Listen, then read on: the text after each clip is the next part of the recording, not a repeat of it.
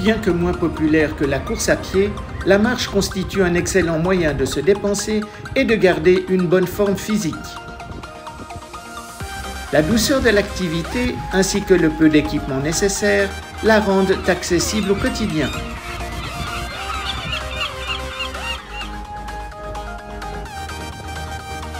De façon générale, afin que l'activité soit efficace, il est recommandé de marcher 3 km par jour.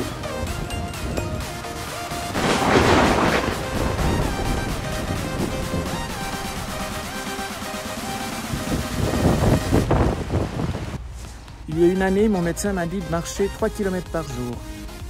Aujourd'hui, j'ai fait un peu plus que 1000 km. Je pense qu'il serait temps de songer à rentrer.